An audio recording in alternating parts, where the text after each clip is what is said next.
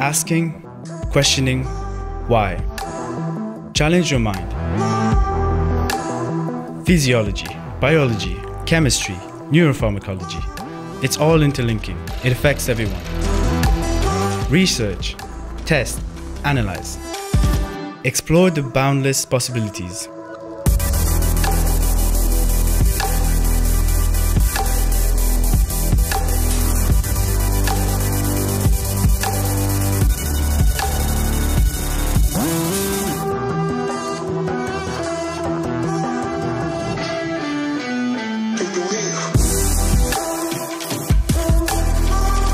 Working as a team, pushing forward together, tackling adversity.